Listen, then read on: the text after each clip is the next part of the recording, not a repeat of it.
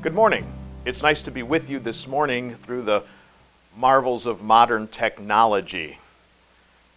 Our Word of God this morning is based on the words of our gospel lesson this morning, John in John chapter 6. And since that's already been read, I won't read it again at this time.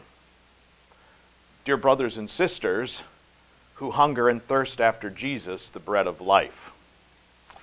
A few years ago, I was conducting an every member visit in one of my congregations, and one of the questions I asked the members was this What do you feel, or in your opinion, what is one thing that our church does well? And I'll never forget what one man told me, with, almost without flinching. He said, Pastor, we're good at eating. If there's anything we do well, it's eating. I think those words would aptly apply to the people in our lesson in John chapter 6 this morning. They were good at eating. They were good at eating food for their bodies.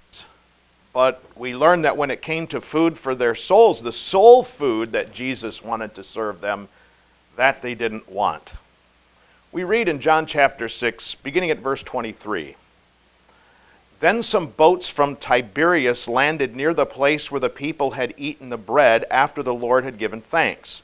Once the crowd realized that neither Jesus nor his disciples were there, they got into the boats and went to Capernaum in search of Jesus.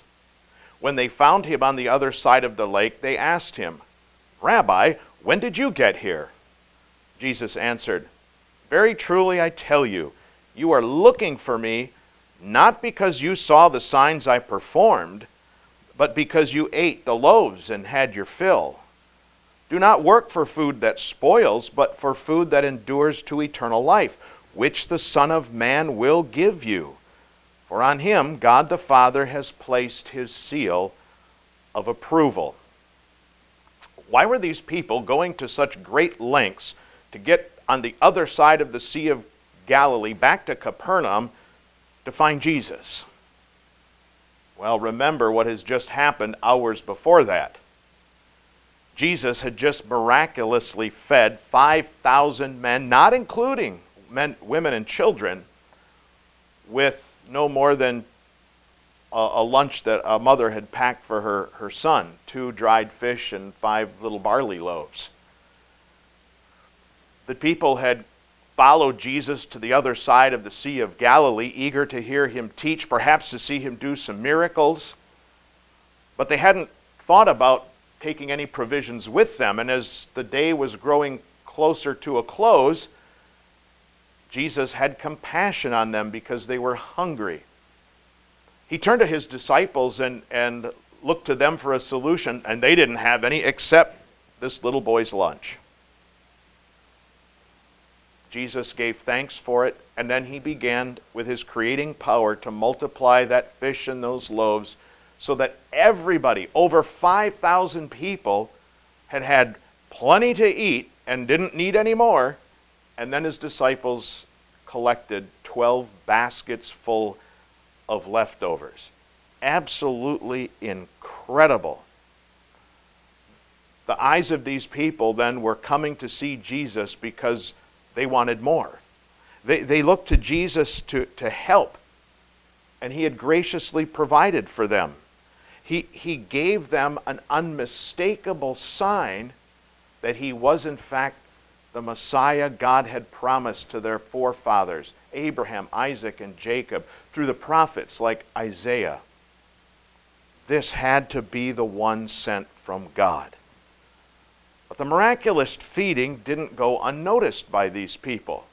Oh, they noticed. They did more than that. They chased after Jesus. And at first we would think, well, that's a good thing, right? It's a good thing for people to, to want to be near Jesus. But Jesus knew the motives of their heart, and they weren't pure. They, they did chase him down, and they did want to be near him, but not because he because of the things he was teaching them, not because of the spiritual food he wanted to give them, but as Jesus says, because they ate and had their fill. You see, they were looking to Jesus to be their bread king. In other words, a king that would provide food for them. a government welfare program. After all, why should they work for food if Jesus could give it to them for free? These people had growling stomachs that were only satisfied for a short time. But their growling stomachs sort of outgrowled the needs of their starving souls. In his compassion, Jesus is always willing to help people who are in need, who don't have the basic necessities of life. He is not going to allow his people to go without the very basics. He's, he's promised that he will take care of our basics, our food, our clothing, a, a place to cover our heads. But he had not come for that primary purpose. He had not come to be the bread king or the government welfare program. These people needed to go home and get back to work, to take care of the crops in their fields and the, the cattle under their care. Because it was through this work that God was going to provide for them. Remember, this is what St. Paul told the Thessalonian Christians. He said this If anyone does not work, he should not eat. And this is in perfect keeping then with what God had taught Adam way back in the Garden of Eden, right after the fall. He says, It is through the sweat of your brow that you will eat. Do you see yourself mirrored in the nameless faces in this crowd that had chased after Jesus? Are you hungry? Is your stomach growling? Maybe it's, a, it's been a tight month, or, or maybe coming off of COVID, you're, you're struggling to make ends meet. Then, by all means, come to Jesus for food. Ask Him, rely on Him to provide you with the basic necessities of life. If you've fallen on hard times, if you're struggling, then please come to me. Come to the leaders in our congregation. Give us, as your brothers and sisters in Christ, an opportunity to reflect His love to you and help you out in some way. That's what we want to do. And it's through His people, then, that Jesus often provides these immediate needs of the people. He provides the food and the clothing that, that people need. But under, understand then that Jesus is not just the Savior of your soul. He is the Savior of all of you, soul and body. But a word of caution don't mistake Jesus or his church for a welfare program. We are not primarily involved in physical welfare. We are primarily a lighthouse, a beacon for the light of the gospel in our community and in our world. We are primarily a gospel proclaiming organization. That's what Jesus has called us to do. God's will for you is the same as it was for Adam and for those Thessalonian Christians. He wants you to work. He, he wants you to earn your basic necessities through your, your sweat and your hard labor. If you're down and out, if think ends are, are having a hard time making the ends meet, then absolutely come to Jesus for food. Come to Jesus for help. Come to his people. We will be happy to do whatever we can to help you. But your need shouldn't be a result of your unwillingness to work. Nor should your need be a result of spending what you have earned on luxuries, on, on the fact that you have a TV that covers an entire wall in your house, or on the fact that you drive a luxury automobile, or you carry a Louis Vuitton or Prada a handbag, or wear Jimmy Choo's shoes. That's, that, that's all whipped cream and cherry on top of the basic necessities. And it's true that for, for many people, at least in our country, God has graciously, abundantly provided so much more than the basic necessities. Is your stomach growling? then absolutely come to Jesus for food. He will provide food, the necessities for your body. However, even more than providing for the necessities of your bodies, Jesus provides bread for your souls. This was the purpose for his coming. And to, was to this spiritual level then that Jesus wanted to lift the hearts and minds of the people that had crowded to him. This is what we read. Jesus answered them, Very truly, I tell you, you are looking for me not because you saw the signs I performed, but because you ate the loaves and had your fill. Do not work for food that spoils, but for food that endures to eternal life, which the Son of Man will give you. For on him God the Father has placed his seal of approval. Then they asked him, What must we do to do the work God requires? Jesus answered, The work of God is this to believe in the one he has sent. So they asked him, What sign then will you give us that we may see it and believe you? What will you do? Our ancestors ate the manna in the wilderness. As it is written, He gave them bread from heaven to eat. Jesus said to them, Very truly I tell you, it is not Moses who has given you the bread from heaven, but it is my Father who gives you the true bread from heaven. For the bread of God is the bread that comes down from heaven and gives life to the world. Sir, they said, always give us this bread. Then Jesus declared, I am the bread of life. Whoever comes to me will never go hungry, and whoever believes in me will never be thirsty. The transition from the physical plane to the spiritual plane in this conversation didn't happen so quickly or easily. The, the people's souls were, were starving, almost to the point of death, beyond their even recognizing that they, they were starving, that they were hurting. They didn't want to work for the food that that feeds the body. That they wanted Jesus to give them. But notice in their question, they wanted to work for the heavenly food. But that was all backwards, wasn't it? God wants you to work for your physical food. He wants to give you freely the spiritual food. Patiently, Jesus called them away from their good works and to put their faith, to, to call them to believe in Him as their Savior and their spiritual provider. Now it is clear that the people understood what Jesus was saying about himself, namely, that he was the Messiah promised and the one whom God had sent from heaven. But they wanted more signs. It's incredible, isn't it? It's, it's almost as if they had forgotten why they had chased Jesus to the other side of the Sea of Galilee in the first place. Why he had just fed over 5,000 of them, if that wasn't sign enough. But they hungered and thirsted for more physical signs. They, they wanted Jesus to do for them what Moses had done for them in the wilderness, for their ancestors, right? Moses pleaded to God after the people had complained, and God patiently, graciously answered that request by providing manna every morning and quail in the evening for the people to eat. It was free food. They had it for 40 years as they wandered in the wilderness.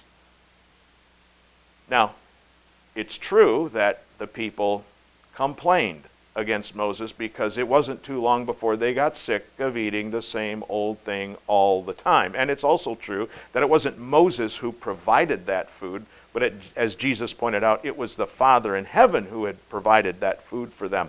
But those facts didn't seem to, to matter to them. They still wanted more signs. They wanted their stomachs to be filled. And yet, that's not why Jesus had come he had come primarily to fill their souls. Their souls with food so that they would not hunger and thirst for spiritual food. It's pretty easy for us to lob attacks over the centuries at, at these misguided souls who crowded around Jesus. But what about you? For what kind of food have you come to Jesus. You see, friends, this conversation is really a conversation about priorities, isn't it? Which is more important? The food for your bodies or the food for your souls? Both are important, but which is most important? Jesus is pointing out to us that it's the food for our souls that is most important. But this was the food that the people didn't seem to care anything for. Jesus wanted to provide both for them. They were only interested in food for their bodies. The spiritual starvation they were suffering didn't seem to bother them. But not us, right? We're, we're, we're not like these people in our lesson, are we? After all, you're here this morning worshiping and you're listening to me on a TV screen rather than live and in person, wow, that takes some dedication, doesn't it? But are you listening? Have you been actively participating in worship this morning? Lord's Supper is being served this morning. Have you prepared yourself to receive that supper yet? Or did you even know it was going to be served this morning? Maybe your spiritual starvation or hunger would be more obvious if we touched on the home life. You know, how many husbands don't grumble and growl at their wives when the dinner isn't served, put out on the table at just the right time? How many children don't cry out to their moms all the time about how hungry they are? And yet, would those same voices complain when mom or dad forgets to read the family devotions? With the same mouths that cry out to mom to feed their tummies cry out to Jesus to feed their souls. As people who call ourselves Christians, it's downright embarrassing, isn't it? And more than being embarrassing, it's shameful, but shameful to the point of being deadly. God tells us that when we have our priorities switched, and we put the physical ahead of the spiritual, we're sinning against Him. He always wants Him and His Word to be number one in our lives, our chief concern, and He promises to take care of the rest. When we worry about the rest and forget the first, we've sinned against God, and that sin deserves God's anger and punishment. Right now and forever. That's what we confess in worship, isn't it? But just as Jesus was patient with those people in our lesson, so Jesus is abundantly patient with us. And more than patience, then, he gives us what we lack. He, he, he comes as the bread of life from heaven, that satisfying food. And just consider how satisfying this heavenly food is. By nature, that is, from your birth, we are all born lacking a righteousness or perfection that God demands of us. And lacking that righteousness or perfection, then we lack confidence in God's favor. We lack confidence to stand before God, and rightly so. But by nature, from our birth, we're also born with a stain of sin. Sin that then shows itself in our thoughts, words, and actions for the rest of our earthly lives. That sin then oppresses us with the guilt that goes with it. And that those ugly, oppressive, guilty feelings rob us of all peace that we would have with God. And taking away confidence and peace, we have no joy and certainly no hope how wonderfully filling Jesus, the bread of life, is. First of all, he came to be and to provide that perfection and righteousness that we lacked. Notice that's what Jesus did in our lesson today. Whenever we read the gospel lesson, it's good for us to, to see Jesus doing something for us, doing something in our place. So when Jesus had compassion on these people and he fed them, he was being righteous before God. He was doing what the, perf- the perfect thing God wanted him to do.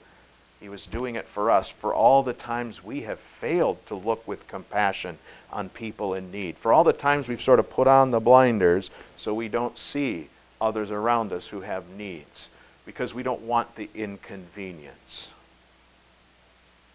Then Jesus, while the people were struggling in their, in their thoughts to raise them from the, the physical to the spiritual, rather than becoming frustrated as I might have been or, or you might have been, Jesus remained perfectly patient.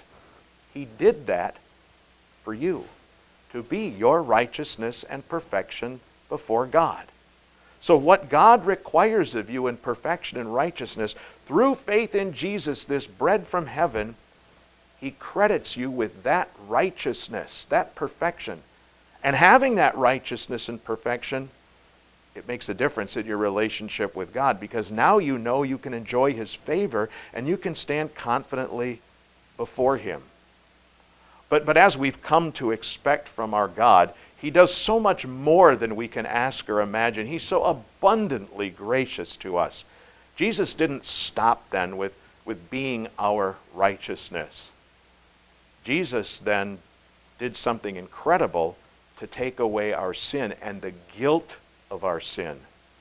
He offered himself up, not on a silver platter, but on a wooden cross. He, he offered up his life and poured out his blood to take away those sins. God poured out his anger against us on the cross, on Jesus. And in that same event of, of punishing Jesus, God was saving us from our, from our guilt and our sins, taking it all away. And to demonstrate to you that God holds no grudges, that there are no strings attached to this bread from heaven that God has given you. He raised Jesus from the dead. Because Jesus lives, you can be absolutely confident that God has provided the righteousness that you need for you. You can be absolutely confident that your sins and all the guilt has been completely removed. You can be confident that even though you die, you will live again.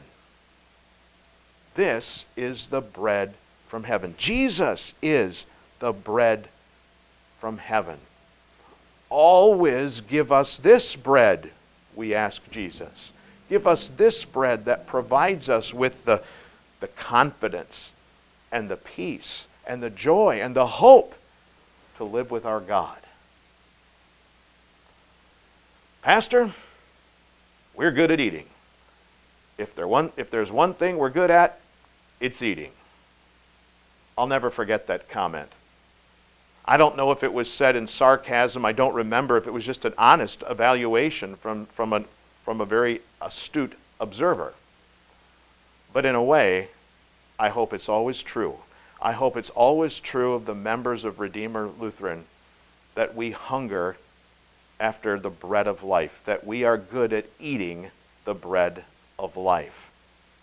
Because God serves him up for us in his word as we gather here for worship, as, as the sermons are preached, as the Bible stu- lessons are read, as Bible classes are conducted.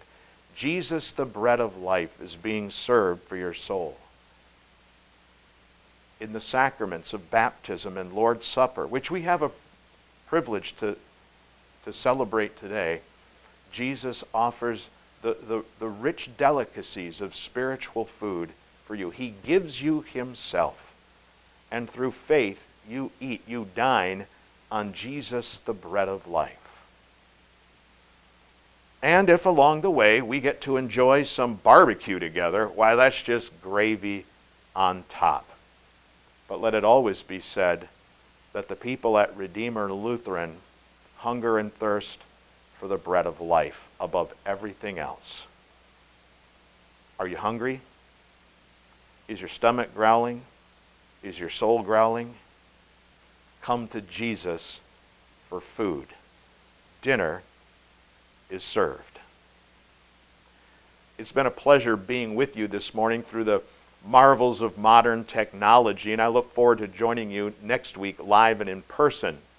Until then, I pray that you, each and every one of you, has a safe and prosperous week. Don't forget to daily dine on the bread of life. And the peace of God that goes beyond all understanding will guard and keep your hearts and minds in Christ Jesus. Amen.